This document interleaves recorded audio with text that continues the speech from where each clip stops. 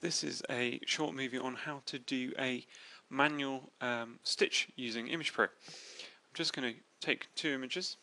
Um, these are images that were acquired uh, by myself. I'm just going to zoom a little bit so we can see both of them. These were actually taken uh, on a fairly low powered uh, objective, like a five times I think. And we can see that I have some overlap and they're probably taken with about 10% overlap and we can see there's a feature which repeats there. So to do a tile inside Image Pro, just go to Process, Tile Images. This opens up the tile dialog box and we've got here the two images that are currently open so I'm just going to add those across and I'm just going to show the layout.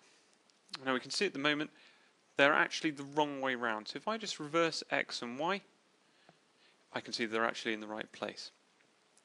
Now they could be that way round, but they're not. But I have the ability to change that as well. And we can do this with as many images as you as you need to. Um, now, you may be able to make out there's some red lines on the images here. These are the areas in which we're going to try and perform a stitch. So if I increase this and make that 100, the, the lines get further apart. And basically, I want my repeat points to be within that line. Okay, so I can just see there's a tip there, there's not there. So let's bring it up to 150. And now I'm now I'm right. So 150, my red bar's in. And when I'm taking these images with overlap, I really want to achieve about 10 to 20% overlap between fields. So now I'm ready to go. I simply just press apply. And it's done the calculation for me, and you can see it's nicely stitched. What I'll do is I'll just do a local zoom.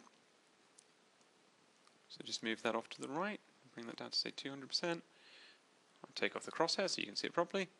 And you can see we've done quite a nice stitch there. So, the final thing to do is to crop this so I can use it. So I just use my region of interest tool, just draw a nice region of interest, and then go edit, duplicate, which leaves my nice single image showing me all of the information across two fields. I hope that's been of help. If you need any more information, please contact your dealer or your local sales office. That's great. Thanks.